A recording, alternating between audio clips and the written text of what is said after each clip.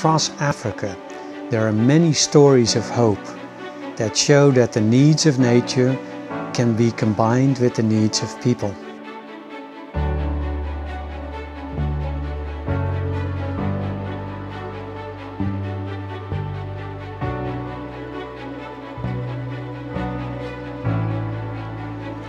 Into Africa is a mosaic of images and stories that has grown out of more than 30 years of fieldwork across the continent.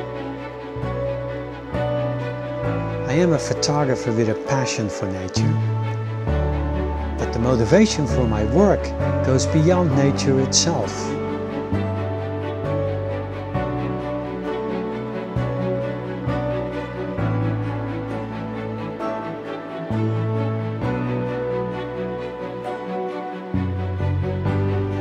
Why Africa? Africa is changing fast and I hope that this book will contribute to a realization that this is a global treasure. And I also hope that some people may feel inspired to help ensure that this treasure will be there for generations to come.